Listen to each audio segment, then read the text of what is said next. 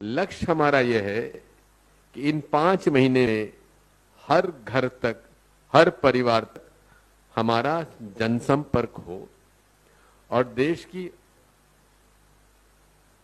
Socio economic जो हालात हैं जिस प्रकार से धार, हमारे धार्मिक सरमस्ता को बिगाड़ा जा रहा है जिस तरह से आर्थिक हालात बिगड़ रहे हैं जिस तरह से गरीब गरीब होता जा रहा है, अमीर अमीर होता जा रहा है, कुछ चुने हुए लोगों के लाखों करोड़ के कर्जे माफ़ हो रहे हैं।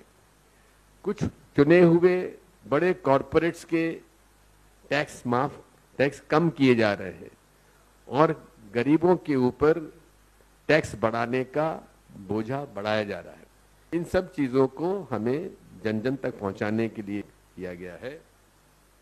और इसमें अकाउंटेबिलिटी भी तय की जाएगी।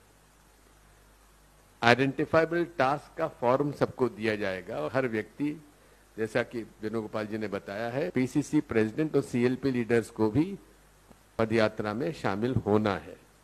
और किन किन परिवारों से वे जाकर मिले, जुड़े, उसी भी जानकारी हमारे एआईसीसी कंट्रोल रूम और पीसीसी कंट्रोल में दी जाएगी। सबसे बड़ी चुनौती यह है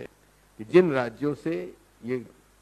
यात्रा नहीं गुजर रही है, उनमें हमें विशेष तौर पर ध्यान देने की आवश्यकता है।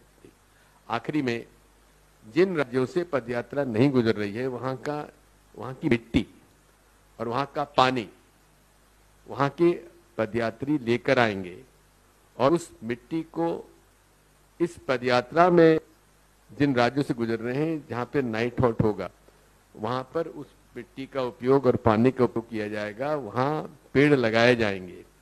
ताकि हमेशा हमारी इस पदयात्रा की स्मृति उन इलाकों में रहे, जिन इलाकों से ये पदयात्रा गुजर